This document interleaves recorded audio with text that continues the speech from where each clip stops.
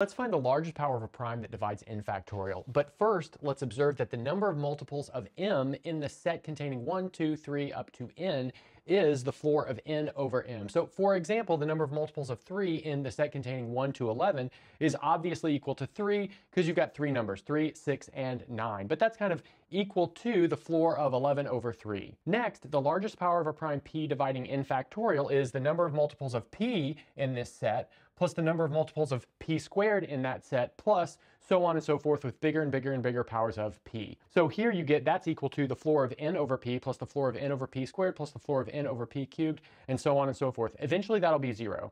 As an application, let's find the number of trailing zeros in 163 factorial. So that means we need to look for the number of multiples of 10, but really we just need the number of multiples of 5. So we've got the floor of 163 over 5 plus 163 over 25 and so on and so forth. And after the calculation, you get 39.